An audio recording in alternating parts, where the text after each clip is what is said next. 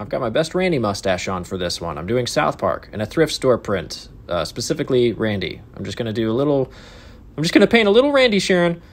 Um, this is probably one of my favorite characters in South Park for obvious reasons, being a father who's trying desperately to be a serious man and it never happens. But I I've not painted him in with, oh that's a lie. I have painted him with his balls. I just lied straight to y'all. I didn't feel anything when I did that.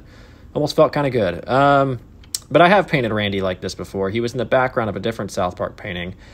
Uh, however, I want him to be integral. You know, I want him to be the main character. This is maybe the most hilarious version of him, so I, did, I think it deserved it. And uh, I've had this print for a while. I hate it. I hate it with my whole soul. I've been staring at it for like six months and I can never figure out what to do. So when this idea hit, it was both hilarious and a massive relief to me. Um, and now I love it. So there you go. There's a finished product. If you want to print or a digital copy of that, you can go to downcycle.com. Okay, love you. Bye.